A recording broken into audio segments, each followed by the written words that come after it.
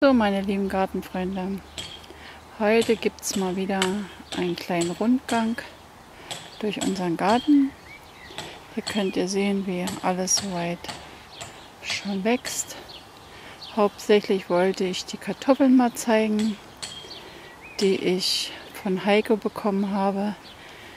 Ja, ich habe so lange nichts von den Kartoffeln hören lassen, weil die einfach nicht richtig gewachsen sind.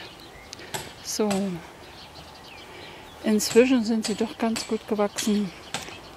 In den hinteren drei Kübeln sind je vier Kartoffeln drin und in den vorderen sind je zwei Kartoffeln drin. Ja, ich freue mich, dass sie doch ganz gut gewachsen sind.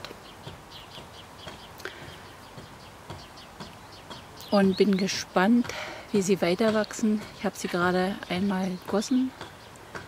Ja, und wenn es euch interessiert, seid nächstes Mal wieder dabei. Und ich danke fürs Zuschauen. Eure Sissy.